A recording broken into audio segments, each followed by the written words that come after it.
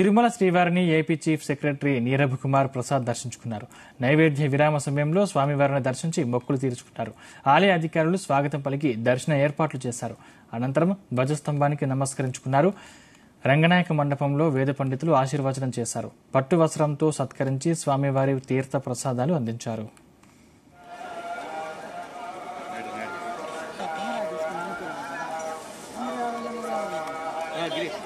Photo.